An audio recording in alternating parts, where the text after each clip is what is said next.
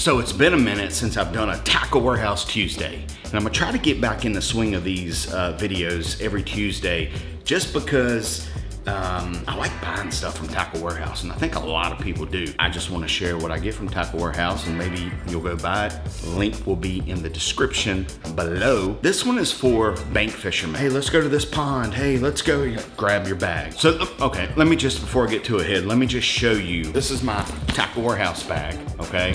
This is a big, this is a big bag. Like you can hold. Sorry, where's my keys? Gotta love kids, right? I mean, she's 20, but. Like you can probably put three of the 2700 tackle boxes in here, whatever, 3700, 4700, the big ones. It's just, it's real meaty you can fit a ton of stuff in here as well. I mean, it, it, has a ton of storage. I would probably take this bag if I was a co-angler, like fishing a tournament or just going out with a buddy on a, you know, on a bass boat on a lake somewhere. And I, you know, I've got like probably four, five, six rods with me. So that way I have enough tackle to accommodate five or six rods, right? So this is, this is kind of like, you know, my boat bag. But this right here, this is the AFTCO Urban Angler bag.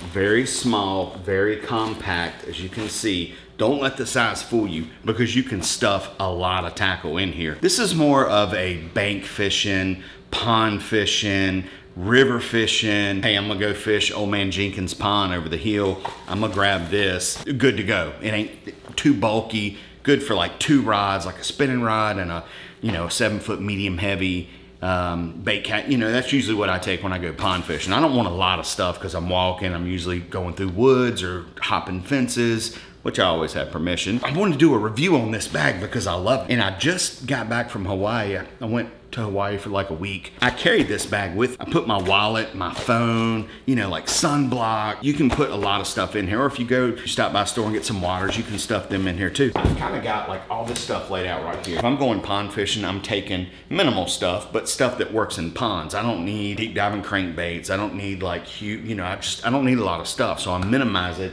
for where I'm fishing check this out. So let me just kind of show you on what all we can put in this bag. Everything I have here, I kind of pre-rigged up, pre-packed some spinner baits. I've got some Senko type baits, flukes, you know, some brush, some baby brush hogs, whatnot, seven inch power worms, because you know, that usually works in ponds where I fish. This binder just kind of goes in here like so. I'm not sure how long these plastic bags will last before they start tearing or whatever, because they're kind of thin. It works, and if it tears up, I'll probably take the binders out and just stick soft plastics and all the stuff in here you've got that right there. You've got like a little zipper here.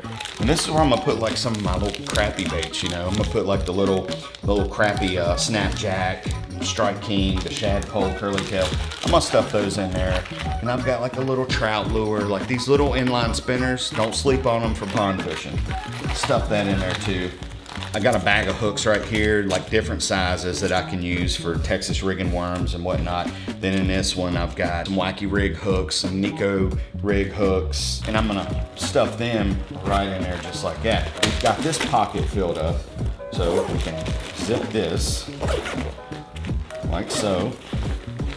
And then this other pocket, which is right here, I've got me a little box right here, a little box is what I call a little box plopper plopper. I've got different size EWG hooks. I've got some offset shank hooks.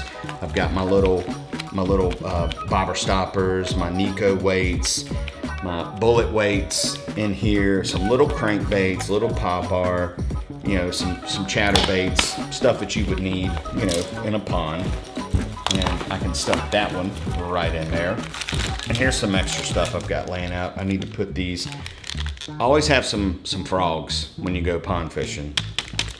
They will tear them up. So I'm gonna open this back up.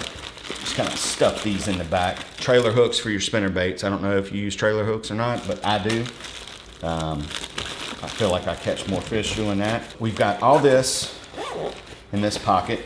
This little pocket right here, you can probably put, you know, your cell phone or I got some pliers. I'll probably stuff these down in here because you always need pliers. So I got this whole other compartment right here where I can put stuff. And this is like my little vlogging camera if I want to go pond fishing where I don't have to take my big camera and pop that little dude in there. Chesty, which I hate wearing chesties. Haven't got my GoPro back from the shop yet, so that will go in here as well. Just like that. You got your little tripod if you want to set up some different shots.